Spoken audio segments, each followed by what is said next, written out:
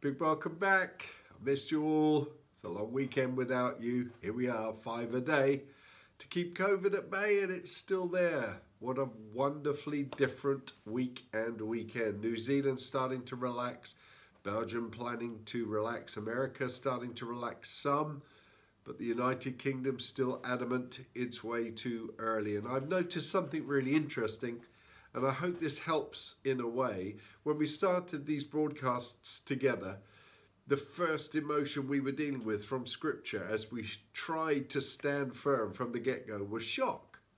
And then fear, and I think fear is still there, but as we seem to have done a good job by and large in our hospitals around the world, I think fear is giving away to discouragement, particularly as some of us face a longer haul than we really wanted to face.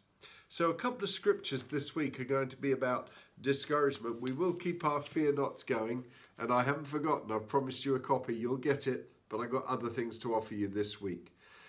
David's talking to Solomon. Solomon's coming out of a, an era of war, and something new is being birthed, and he's being given the responsibility for what new is being birthed, which was, in their case, the temple of the Lord. And David says, You'll have success if you're careful to observe the decrees and laws that the Lord gave to Moses for Israel. Then he says these words, and I want to say them, I believe, in the power of the Holy Spirit to you today. Be strong and courageous. Do not be afraid or discouraged. Strength, courage, fearing not, and don't be discouraged. Could I encourage you as we talk about reaching out, giving thanks, making a difference this week? Let's focus on encouraging one another. Hebrews says, encourage one another day after day while it's still called today, so that no one becomes hardened by the deceitfulness of sin. There's a whole message there. Simple enough, though. Let's encourage one another as long as it's still called today. And it's still called today. even in COVID 19. Now, looking up today, as you probably remember, is National Leaders. And a bit later on, for those watching the full uh, broadcast, we'll unpack this a bit further. But let's get together and pray right now. Wherever you are, would you just focus with me as I call out in prayer for our national and international leaders? Here in the UK, thank you for Boris Johnson's recovery as he comes back into harness this week. Father, protect him, bless him, inspire him, enthuse him, give him wisdom, great wisdom, along with Matt Hancock and other ministers. Canada, Prime Minister Trudeau, President Trump, with all that's going on there. Particularly, we pray for Mayor de Blasio and other state governors as different states decide different responses to lockdown. Could be a source of great unrest. In your mercy, bring peace. President Macron, Chancellor Merkel, Prime Minister Sanchez, Prime Minister Conte, Scott Morrison, uh, Prime Minister Ardern, and Stefan Löfven in Sweden. We commit these leaders to you. We're encouraged in Scripture, actually exhorted in Scripture to pray for those that have authority over us. And we do with joy ask you to give them wisdom, great wisdom, Father, in your mercy. Now, I wanted to bring a perspective today. We're going to look later on in the week at some of the answers to the questions what do you believe will be different as we come out of COVID for you? We're in the same storm, my friend Mike Fisher says, but we are not in the same boat. I have several friends who have lost loved ones from COVID a father, a brother, and several more who have lost friends. I have other friends who think it's all been hyped, a hoax, a conspiracy, a creation of the media. I wish I could introduce them to each other. I have friends who are saying this is a wonderful time of rest and relaxation. I have others who are working 18 hour days and are absolutely exhausted. I have friends talking about using this time to learn and grow. I have others who are simply trying to emotionally survive and make it through each day. I have friends who live alone who are dying from loneliness. I have friends whose greatest desire is to get one hour out of the house away from spouse or children who are driving them up the wall. Empathy demands us to stop projecting our experience onto everyone else and really listen to what they are going through. Maybe as we reach out and make a difference this week, we could do just that. Dwelling on that a little bit further, Mike says, It just makes me think. I wonder if we could be just a bit more empathetic to understand that no, we're not going through the same thing as the person next to us. We are in the same storm, but we are in different boats. Can I encourage you think about that a bit this week? We may even read that once more this week. And as with anything, if you'd like a copy of that, just email me davido at insight-marketing.com or go to davidoliverbooks.com and use the contact page to send notes to me. But I want to ask you to pray with me today. I want to engage you in prayer, if you would. Uh, in the Salt and Light family, we have requests from Ray Bale, we have requests from Kenya, and requests from our brothers and sisters in Uganda. And I'm just going to read and then pray. I'm going to ask you to stand up if it suits you, or even if you're just sat still, would you actually engage with this prayer? Let's put our shoulders to this wheel of prayer together. Ray says, please be praying for Eastern Congo, where many of our friends, brothers, and sisters are. Ebola has resurfaced, COVID 19 war, and now terrible flash flooding. Matonga, one of his co workers, has informed me that all fresh water in his area, Uvira, is gone as water supply tanks were washed away. Seven bridges are destroyed, which has virtually cut off access to the north and to the south. The only means of getting through at present is by small boat or moto. Death toll is rising by the hour. Join me as we pray for our brothers and sisters there. Father, protect our brothers and sisters. We pray for Matongo. We pray for those in the Uvira area that there would be water supply provided. We pray for protection against COVID 19 and this evil disease, Ebola. Pray for protection for children and parents and villages as houses get washed away in these floods. And Father, in the trauma of it all, would you cause your compassion, your love, your presence to surround those who name the name of Jesus, that in turn they may reach out in their own tragic and traumatic situations and make a difference to others. Those in Kenya say, please pray for us. Corona cases are rising. We have floods wiping away entire villages, submerging other places. Locusts also came and left destruction, especially now that the second generation of locusts has hatched. And folks, doesn't this give us a perspective? We think it's tough being in lockdown. We should, on one level, be ashamed of ourselves.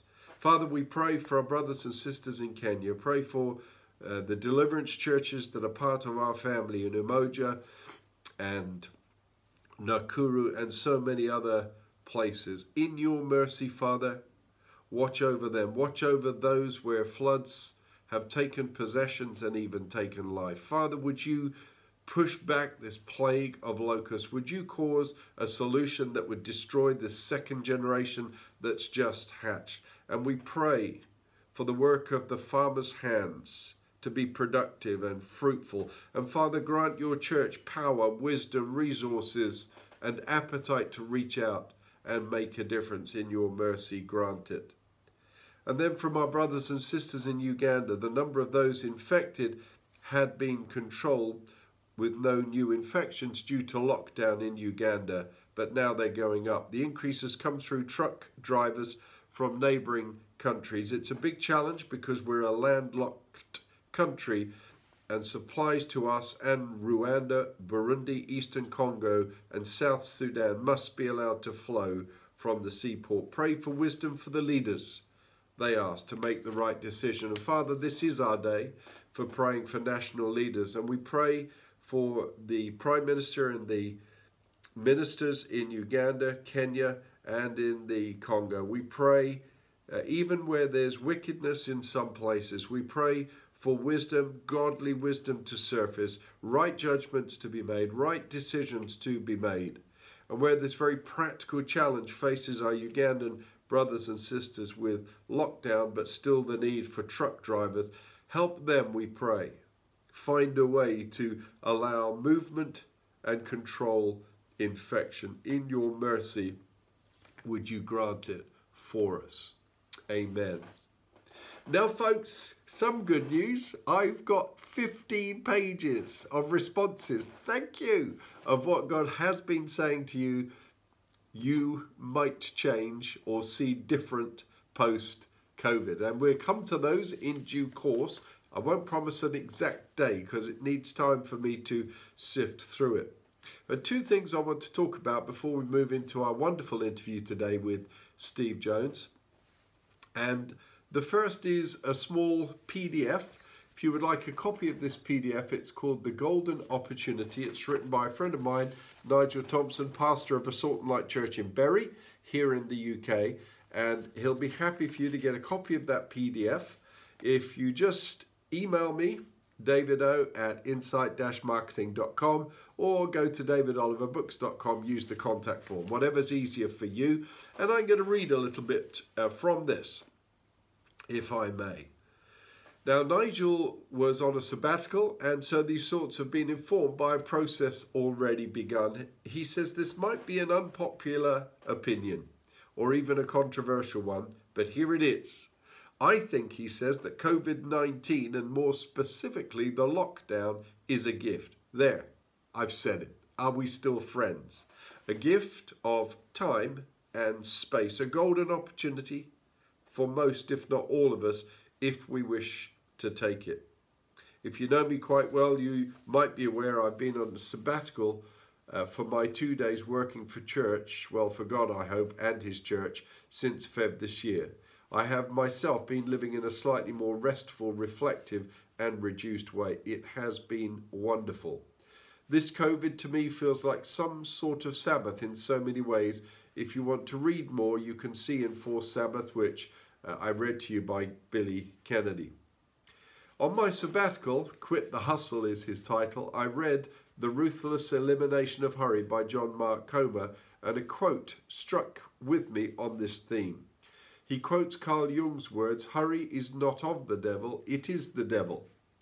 Carl Jung was a Swiss psychiatrist, psychoanalyst who founded analytical psychology. Strong words, you might think, but in the context of this great book, they make a lot of sense. If you get a chance, do read the book, he says. So often in hurriedness, we place doing above being, and I think this season that we're all in might now help us in being more than just our doing. A time for stillness for many of us. Now, just to make the point again, as I read from my friend Mike Fisher, not all of us, and you made that clear to me, some of you very clear in your responses, not all of you are resting or getting more time. For some of you, it's even more demanding, depending on your job, your responsibilities, and I get that. But probably, I don't know what the split will be. We might come up with a number, but let's say it's 80 20 or 60 40. For the majority watching, there is more time right now. And I just want to say to those of you for whom that is not the case, please don't get cross with us. We've got some stuff for you as well. And I get it, it can be a bit vexing when everybody else seems to have more time and you don't. But I want to pray for you now. In fact, Father, I'm thinking of people as I pray right now. People for whom uh, the demands are higher, not lesser, greater, not smaller. Father, in your mercy, would you help them find you in a new way? In those responsibilities, those demands, and those areas of extra work. Now, here's what I want to ask you if you'd like to be engaged in. Nigel Thompson from Bury Church, Salt and Light here in the UK, has got an online survey and he's offering it to us. I've already completed it. It's really helpful and it's basically trying to get facts in the survey. I think it took me less than two minutes to complete, so it's a very simple online survey. If you would like to take part in that survey, would you just, at the end of today's broadcast, David O at insight-marketing.com, just literally put survey in the headline and I'll send your details to Nigel and he'll ping out the survey for you and you'll get a copy of the result at the end and we will, towards the end of COVID, whenever that is, God willing, we will have a couple of uh, last Faith and Corona video broadcasts where we'll get uh, a combination of the data that Nigel's gathered, but also some of our key contributors, Mark Stibbe, Steve Thomas, Dave Richards, Tony Gray, others who've really helped us during the interview phases. So if you'd like a copy of that survey to share in it, wherever you're from, whatever country you're in, just send me an email, davido at insight-marketing.com or go to davidoliverbooks.com, use the contact form to send in your requests. Which brings us very nicely to today's interview. I think you're going to love this. I'm going to introduce Steve Jones to you in a moment. Steve and Bev, his wife, are great friends of mine and Jill's.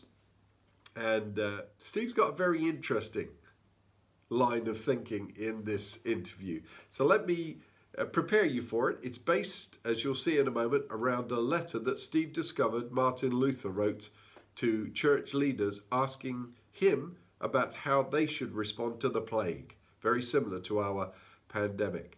If you think point number three is rather short, it's because it was so disturbing I couldn't actually leave it in as we originally recorded it. It's so strong. If you'd like to know more, you'll see during the interview we're offering you a copy of Martin Luther's letter. So again, David Ower, Insight-Marketing, davidoliverbooks.com and request Martin Luther's letter and you can see point three for yourself. I just wasn't willing to put it on air because of its strength and potential to damage some. So let's go into that interview. Hope you enjoy it. Steve's going to pray us out with an apostolic prayer at the end. Look forward to seeing you tomorrow. And tomorrow, by the way, is the N NHS and International Care Workers Prayer Wall. I've had loads of you send in names. If you want a name added to that prayer wall and you haven't given it to me yet, you know what to do. Right, let's get into that interview, shall we? Well, it's great to welcome Steve Jones to the program today. Steve heads up the church in Oxford and is also responsible for one of the Salt like regions uh, in Oxfordshire. Steve, thanks for joining us. I know from a previous conversation that you've been delving into Martin Luther and bubonic plague. That sounds quite relevant. Tell us about that then. Well, fairly soon after the government started announcing the greater restrictions that showed how serious the current outbreak is, um, like most people, I felt disorientated and thought, mm, I've never had a practical theology of pandemic or of infectious diseases, or what are the guiding principles? And uh, did what most people would do, started to look online and see if anyone's worked this out already. And the most helpful thing I found was something older, thinking of our ancestors who've lived through all kinds of plagues, and something that Martin Luther, uh, in fact, had written when he was asked for advice about what you do when there's a plague. And give us some of the uh, the nuggets you found, or a glimpse into what you saw. Yeah, well, um, four things jumped out to me uh, from what he wrote. Uh, one is acknowledging that different Christians will respond in different ways. And really a nudge to us to be understanding of that difference, whatever level of confidence or fear different people are facing, not to expect everyone else to be in quite the same place as them. Some people will do really courageous things that others will see as foolish, and some will act in cautious ways that others will see as fearful. And to uh, uh be understanding of each other, I thought that was that was that's helpful. It was the first thing, so that's number one that he said. Yeah. Second thing was um, to trust in God, and that that trust in God allows us to express love to people, even in the face of, I mean, bubonic plagues are a much greater danger than the one we're currently facing. Even says, you know, you're not at liberty to self isolate until you are sure that the people you care for are being adequately cared for. Your love overcomes your self preservation if if it needs to and that demands a trust in God. So trust in God and express your love. So that's that, quite, that quite challenging. That I, I suppose the difference between bubonic and COVID, I don't know. I'm asking, I guess, is that we've been urged by the government to self isolate, not because of our own mm-hmm. danger, but because of the invisible danger we have when we carry it and pass it on to others. Did he deal with Yeah. that? Yeah, well, he acknowledges the fact that um, in his era, there were just a few really well provided for towns that had a hospital. And he says, you know, if there's a hospital people can go to, then that may well cover your duty of care to people that you can get them to hospital. Um, so we're living in really different times. Then, in most places, the only care available was family members. Interesting. And so, So- in that context, he says, you can't run away. So was his focus particularly? I'm really intrigued by this. Was it particularly then our responsibility for our families? Was that the heart of it? He, he speaks about families, he speaks about um, people who have large households with servants in them and their obligation to their servants and the servants' obligation to their their their lords and ladies. He speaks about pastors and the obligation that they have to their church community. Fascinating. And then number three, Steve. Uh, well, he says that hygiene matters, and uh, they spoke in very frank terms. In and I, I found that helpful because I'm really rubbish at everyday routine hygienic practices. So for me, that's really helpful because it gives me a strong nudge to say, no, wash your hands, pay attention to these things. Um, but they're just that hygiene matters. It's interesting to me that with this strong sense of you know you can't just run away. You've got to care for people where you have a responsibility. He also says and hygiene matters and you know articulates that in really the strongest of terms that i can imagine. Right. it's a wee bit strong. Yeah. Glad it's to a hear wee that. bit strong. But i mean the, the the attitude of what it does get at is the attitude of heart. Yeah. which is what matters. Yeah. Found myself instantly reflecting on uh, the apparent cavalier attitude of some to social distance, isolation, Mm. the request to stay at home. So it's quite sobering, useful on on uh, on that plane. And number four, Steve, what was that? is to recognize that an infectious disease spreading like this is a work of evil and uh, people he, he he seems to hold back from saying is it judgment from the lord? Is it you know trying doesn't claim that it he, he rather he rather pushes to say hmm, be skeptical of people who say they've worked out what the point of it all is.